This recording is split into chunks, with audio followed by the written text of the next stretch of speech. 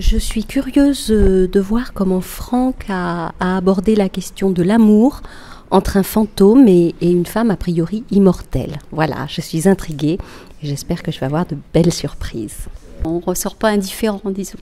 Ça, il y a beaucoup d'émotions et sur le plan... Euh, moi, ce qui m'a le plus, euh, ce qui m'a beaucoup plu, c'est touché, c'est le côté, le côté esthétique de ce film, le rythme aussi la, performance de la danseuse. Mais au cours de la première heure, j'ai eu très peur de ne pas pouvoir tenir, hein, sincèrement. Puis après, j'ai été pris par la poésie. Il y a vraiment des passages qui sont magnifiques avec la musique. Euh, et puis, je crois que c'est cette actrice qui joue euh, ce fantôme, ce, ce lien, ce euh, les réflexions sur la femme, sur l'amour, euh, cette histoire un peu hors du temps, euh, de faire un film comme ça en 2013, je trouve ça, bah, je trouve ça génial. Premier long tournage pour moi et une super ambiance d'équipe, une, une, super unité entre les gens, une envie de bien faire de tout le monde.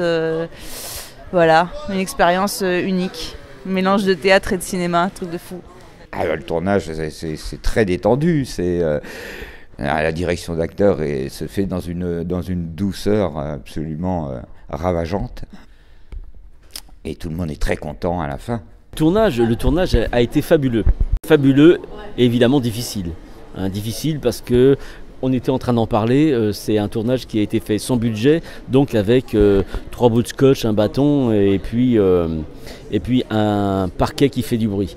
Donc très compliqué mais j'ai adoré, je ne sais pas qui a fait ce film-là, mais j'ai adoré ce film. Voilà.